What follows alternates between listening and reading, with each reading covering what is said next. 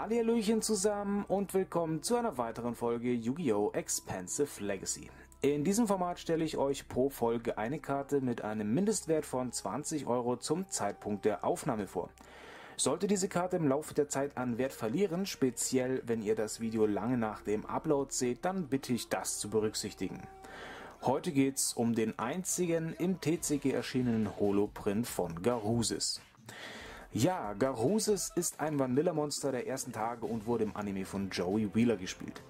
Im TCG erschien die Karte insgesamt in drei verschiedenen Sets. Da wären zum einen die Legendary Collection 4 Joy's World als Kamen sowie das Tournament Pack 2, wo sie ebenfalls als Kamen erschien, und zum anderen in WP11, also dem World Championship Promo Pack 2011, wo sie ihren ersten und einzigen Print als Holo bekam.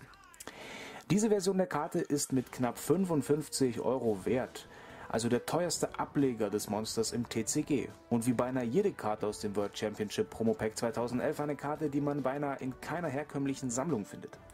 Mich persönlich würde an der Stelle interessieren, ob ihr diese Karte kennt, ob ihr sie aus diesem Set besitzt oder ob sie euch aus diesem Set absolut unbekannt ist. Das war's auch schon wieder mit dieser Folge Yu-Gi-Oh! Expensive Legacy. Wir sehen uns zu einer weiteren Folge und bis dahin macht's gut und haltet die Ohren steif.